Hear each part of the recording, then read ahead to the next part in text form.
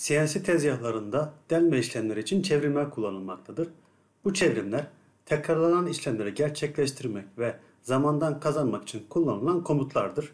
Her çevrimin farklı özellikleri vardır ve gerçekleştireceğimiz delme işlemine göre bu çevrim komutlarını seçmekteyiz. Bu eğitimde buradaki komutların nasıl kullanıldığına bakalım. G80 iptal komutu yani kullandığımız herhangi bir delme çevrim komutunu iptal eder. G81 delme çevrimi genellikle punta deliği veya derinliği az olan delme işlemlerinde kullanılır. G82 delik sonunda takımın bir miktar beklemesini istiyorsak bu komutu kullanıyoruz. Örneğin kör bir deliğin sonunda yüzeyin temiz olması için kullanılabilir. G83 kademeli delme çevrimi derin delikler için kullanılır.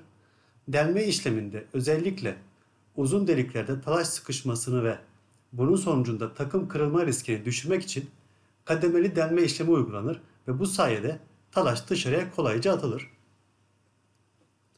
Bu iş parçası için bu dört komutu kullanarak G81 ile punta deliği devamında G83 ile delme işlemini gerçekleştirelim.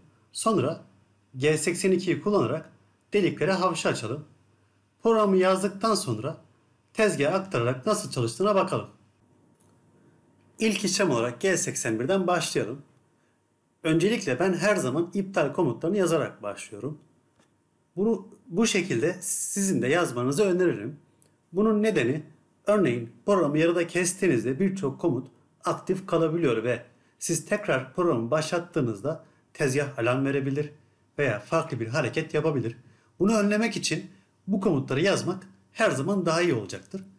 İlk satırda bulunan komutlar G17 çalışma düzlemi, G0 boşta hareket, G40 takım çap telafi iptali, G49 takım boy telafi iptali ve G80 ise delik çevrimlerin iptali oluyordu. T01 M6 takım değiştirme, M3 S1200 devir komutları, G90 absolut sisteme geçme, G54 parça koordinatlarının belirtildiği komuttur. Bunların sıralaması yazdığınız programa göre değişkenlik gösterebilir. Burada kullan e, burada kullandığımız G98 ve G99 komutlarını daha detaylı anlatmak için farklı bir video hazırlayacağım.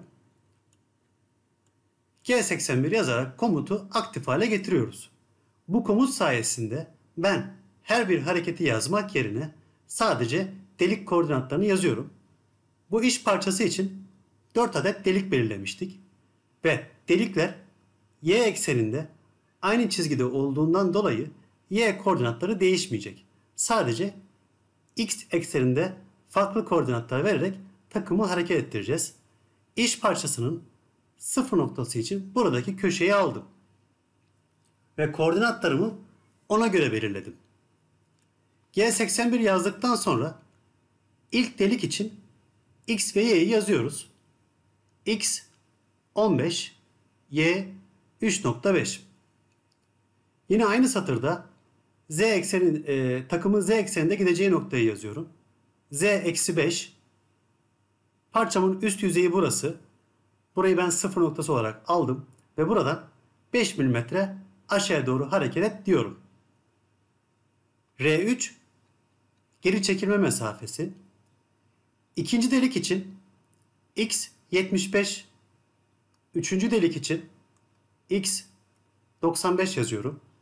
Eğer bu çizgi doğrultusunda değil de yani buradaki çizgi doğrultusunda değil de farklı yerlerde delikler olsaydı örneğin buradaki delik buradaki kenardan 10 mm içeride olsaydı bu defa x koordinatıyla birlikte y için ölçülerimizi yazabilirdik. Yani x 95 10 mm içeride olduğu için benim de sıfır noktası burası olduğu için x95 y10 diye deliğin merkezini belirtebilirdik.